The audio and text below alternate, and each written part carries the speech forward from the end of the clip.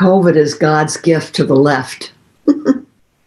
Incidentally, you're a disgusting human being.